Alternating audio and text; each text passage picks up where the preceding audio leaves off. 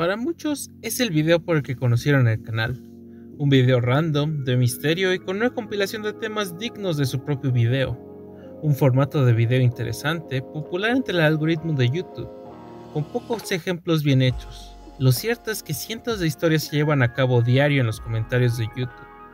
¿Y quién no ha compartido algo en esa sección? Yo mismo he tenido mi buena relación de historias que contar pero entre tantas historias que se escriben día a día, hay algunos comentarios que por su popularidad, persistencia e inteligencia tienen un lugar aparte. Es por ello que hoy vamos a explorar la sección de comentarios del video más popular del canal. Así que abróchense sus cinturones que este viaje apenas va a comenzar. Iceberg del Metro Parte 2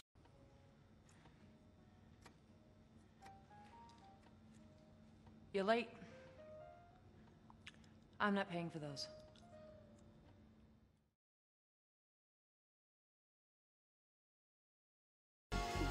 Este video estará dividido en dos partes. La primera parte consistirá en responder algunos de sus comentarios y realizar aclaraciones. Y la segunda parte consistirá en incluir el material que no cubrí en el video original. Con eso fuera del camino, comencemos. Una vez vi un poli y se besó con su compañero en un vagón del metro. Todos tienen un secreto en el metro. Es un mundo libre para tener un vagón manse.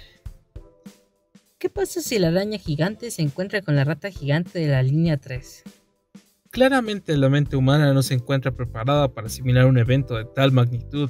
Las implicaciones psicológicas, sociales y económicas de dicho encuentro serían catastróficas. Dato curioso.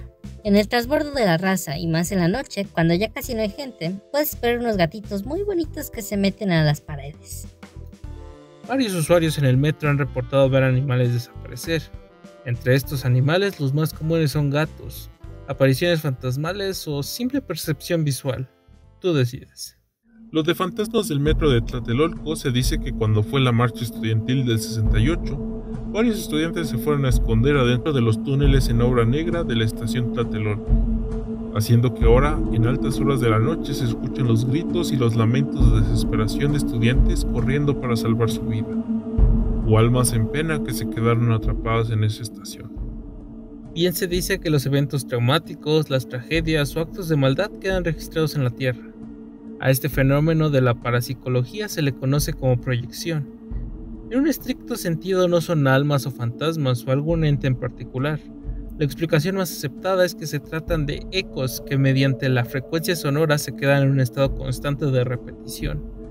Si esto le sumamos la sugestión de las personas, podremos pensar en fantasmas o almas en pena. No obstante, esto es solo una teoría. ¿A alguien le ha pasado que después de cierta hora en el metro viaja gente muy extraña? Sí, me ha pasado y personas con las que he hablado de ello dicen lo mismo. Me he sentido observado en estaciones vacías en la noche. Hagan el experimento de observar fijamente al túnel a altas horas de la noche. Da una sensación extraña como de querer acercarse. Gente extraña en el metro.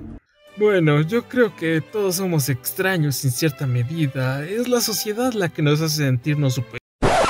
Pero ya en serio, varios usuarios en el metro reportan haberse encontrado con sujetos peculiares a partir de ciertas horas de la noche, al viajar por el metro. Si bien puede resultar extraño, lo cierto es que a todas horas, en todas las estaciones se sube alguien rarito, alguien drogado, algún pervertido, un viejo horny. Lo cierto es que durante el día no se les presta atención por la inmensa cantidad de gente que hay en el metro. Es solo uno más del montón, ¿cierto? Lo interesante o terrorífico es encontrarte esta gente cuando hay pocas personas o nadie. Siempre te pondrán en alerta y eso es bueno. Fuera de los prejuicios, en estos tiempos es mejor prevenirse. Por eso siempre manténganse atentos cuando viajen solos. Y en cuanto al otro, quizá porque nunca he ido completamente solo o he estado en una estación solitaria. Pero me imagino que debe causar una sensación ominosa el estar solo y sentir la mirada de alguien o algo. Nunca he mirado fijamente el túnel, pero siempre he tenido curiosidad de ver cómo es. No obstante, valoro mi vida para ir de curioso. Te faltaron las cucarachas gigantes que ya hasta parecen langostas.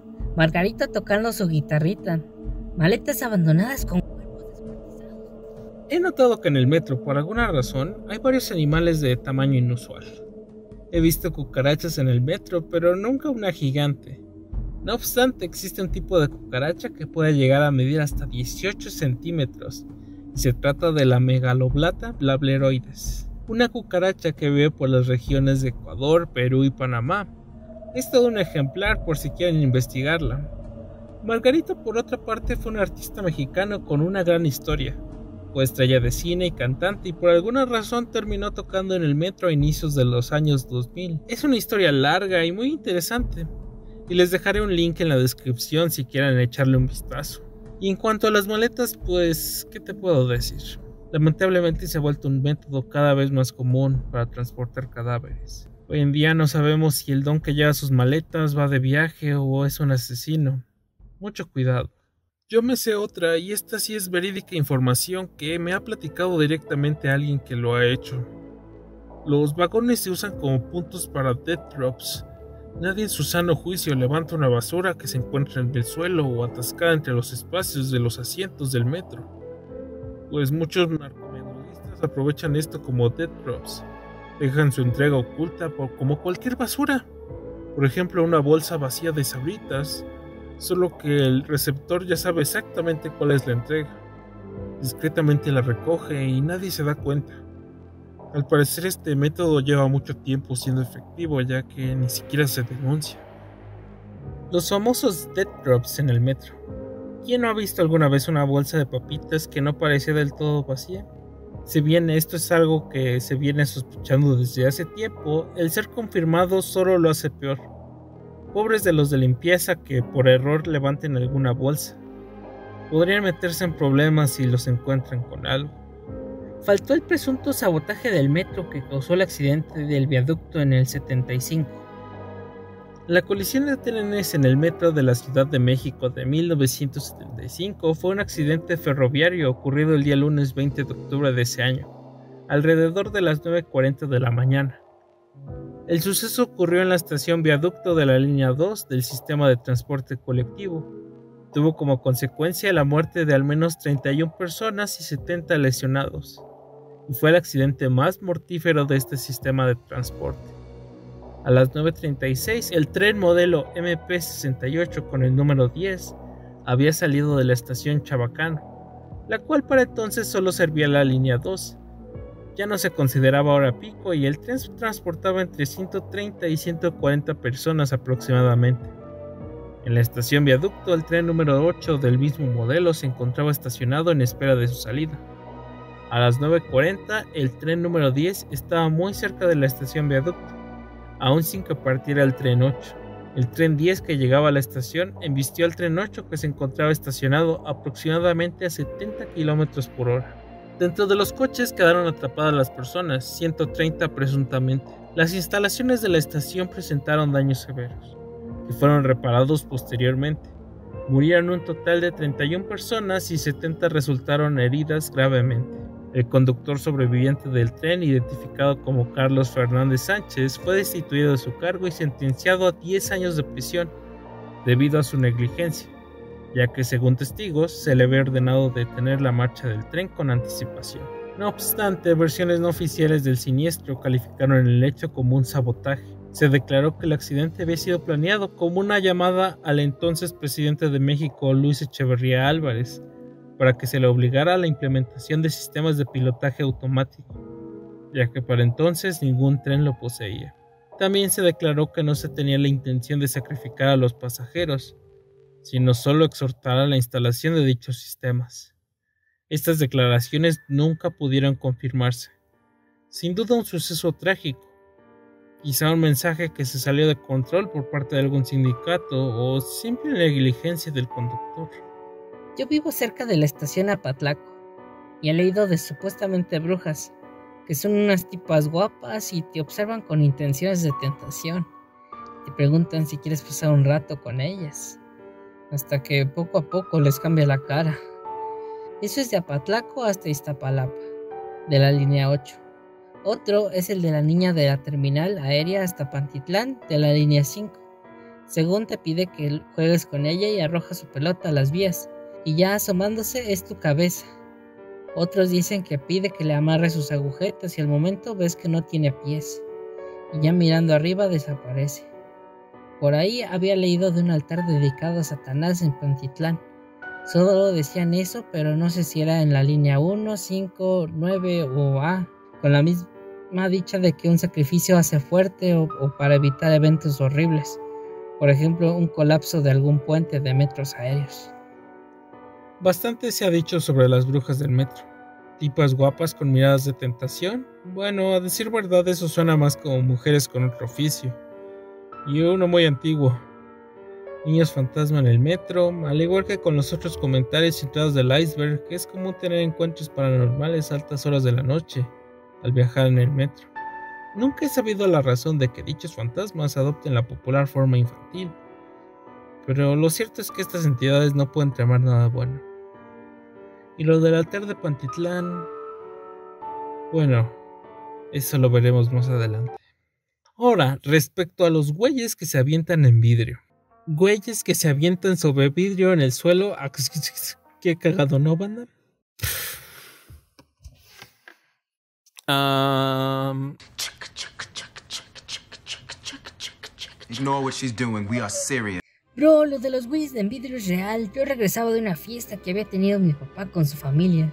Regresaba con mi mamá, papá y mis tres hermanos. Íbamos a Pantitlán. No recuerdo en qué estación íbamos, pero recuerdo que estaba como que abierto y se veía una carretera.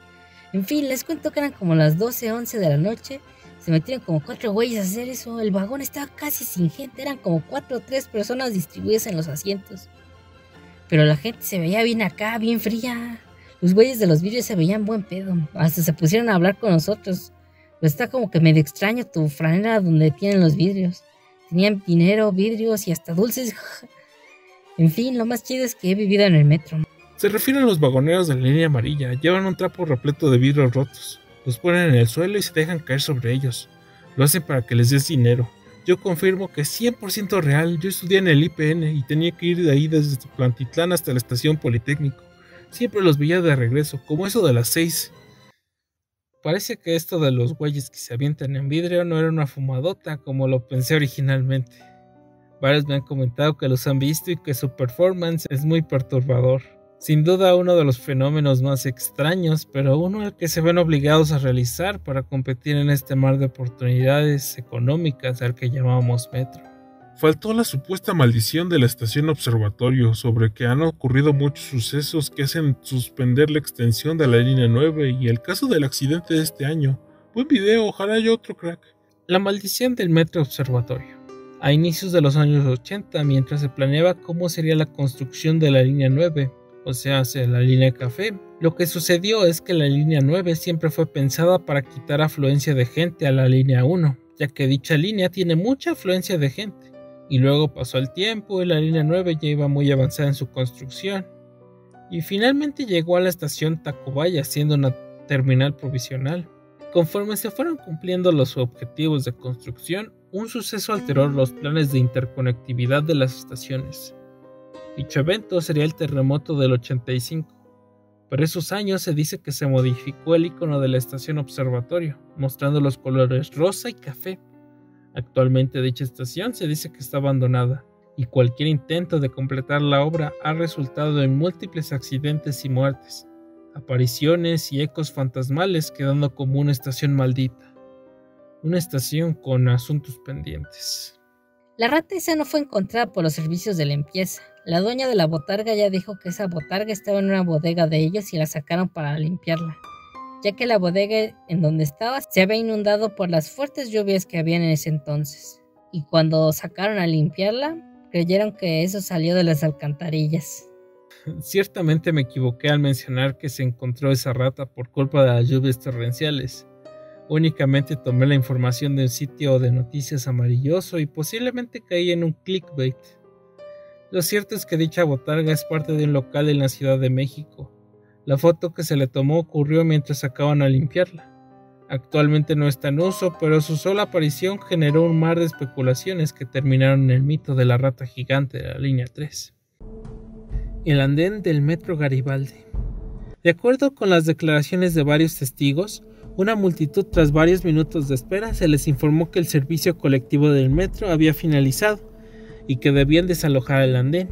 Y su manera de protestar, lejos de convertirse en un mar de incertidumbre e intercambio de insultos, se volvieron una anécdota interesante, ya que organizaron una ola que fue captada en video.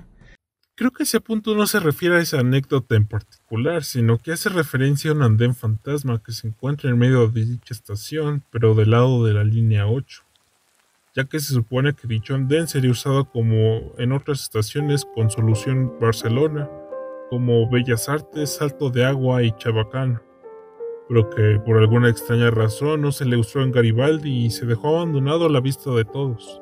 Sí, varios comentarios me mencionaron que no se refería al evento de la oleada organizada por la Hora Feliz. Al parecer el andén del metro Garibaldi se refiere a una construcción en el metro de dicha estación para ayudar con la afluencia de gente y que tendría una interconexión con otra línea. No obstante, ningún proyecto se ha finalizado y al parecer actualmente se usa para almacenar objetos de limpieza. Es un lugar vacío y con mucho misterio. Uno solo puede especular qué hay detrás de sus pasillos.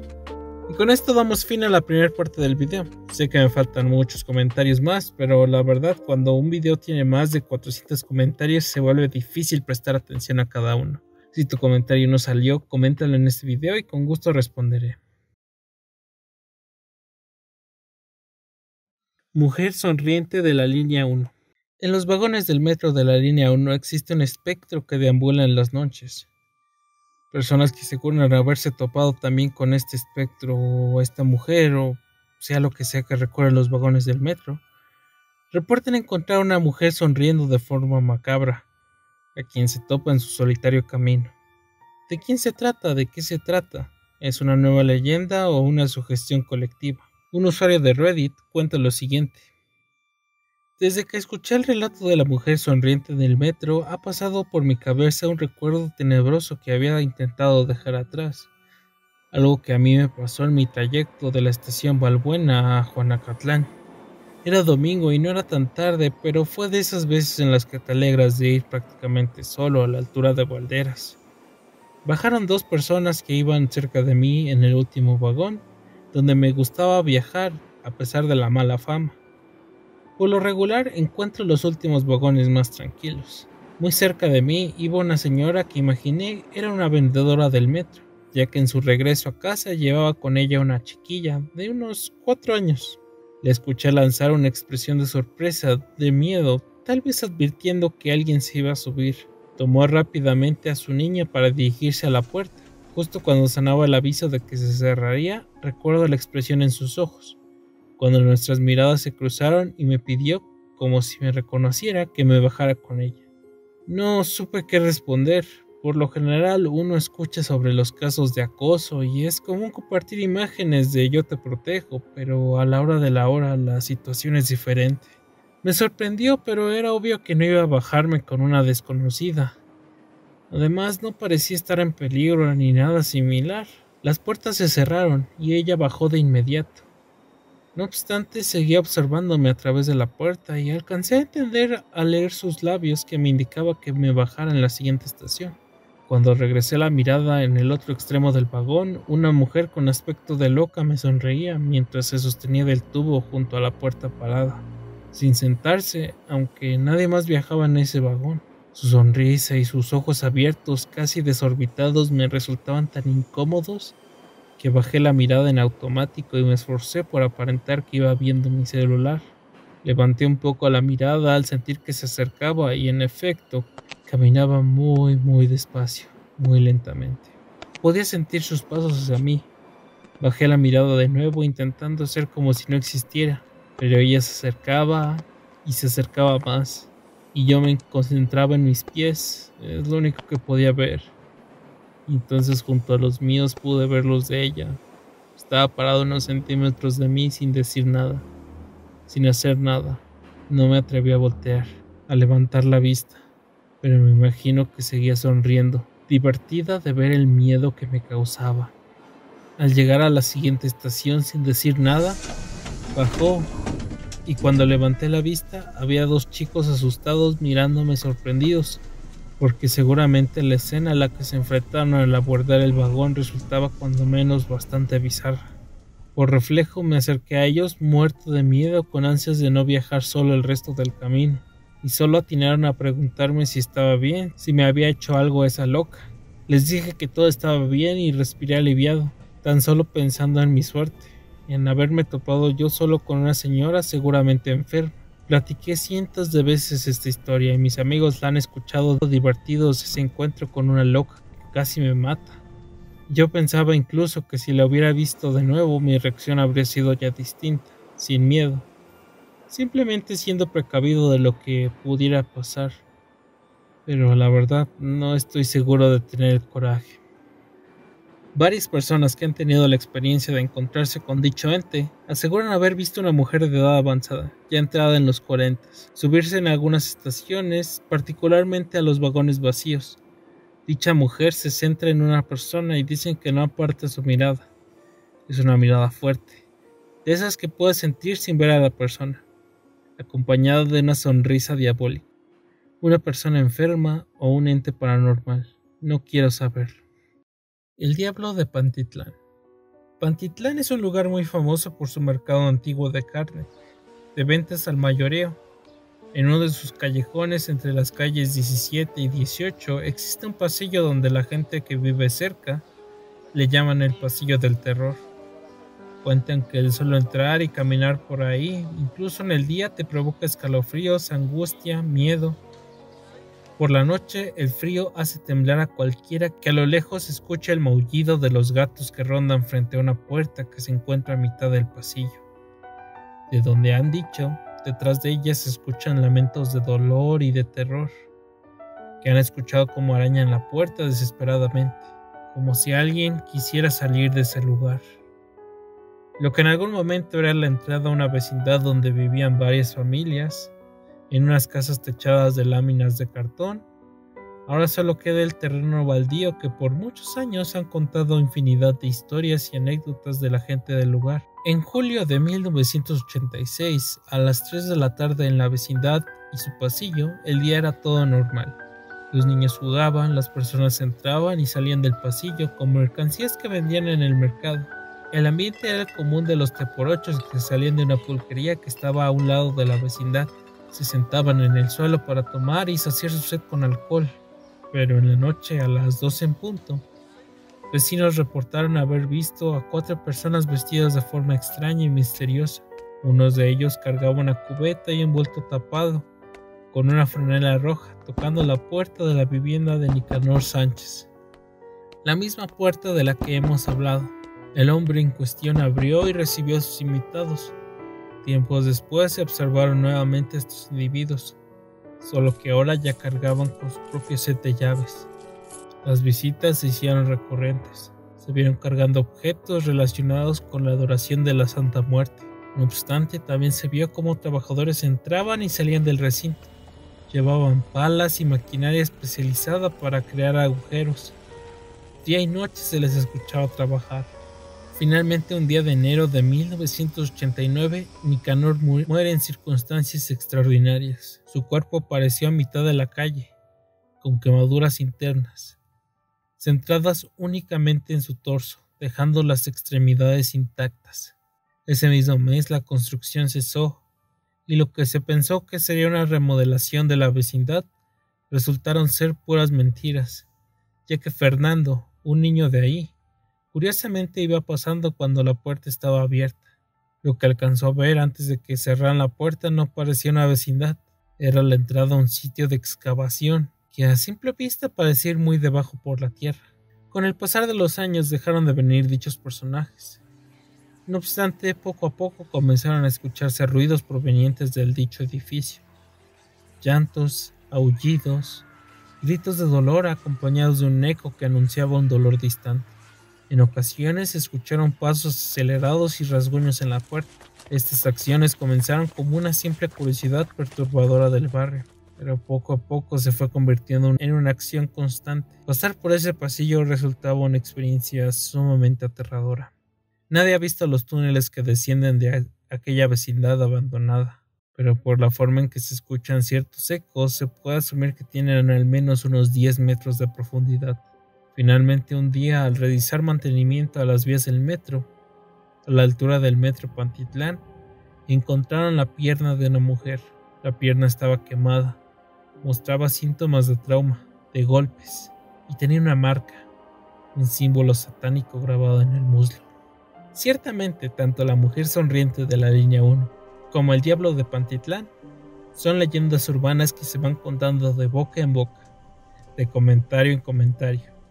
Son leyendas que nos recuerdan lo frágil que es nuestra realidad y lo fácil que es que dichos eventos ocurran, ya se trate de una mujer con una enfermedad mental o una secta dedicada a la adoración del diablo. Es bueno tener presente que en el metro todo puede pasar. Y bueno, esto ha sido el metro de la Ciudad de México, un lugar excepcional donde el cuento popular, lo extraño y lo paranormal se unen para recordarnos que no estamos solos. Y bien, ¿qué les parecieron las historias? ¿Me faltó responder mejor algún comentario del video original? Dejen en la parte de los comentarios y estaré gustoso de leerlos. Lamento mucho haberlos hecho esperar tanto por un video. Irónicamente, después de subir mi video sobre Spelunky 2 y lo difícil que es, estuve jugando un rato, y en una de esas partidas injustas me molesté tanto con el juego que rompí mi teclado, al punto de dejarlo inutilizable. Sí, tengo problemas. Por lo que en lo que conseguí un mejor teclado y sobrevivía como podía en la escuela, no pude avanzar con este video, pero les aseguro que más y mejores videos vendrán en el futuro.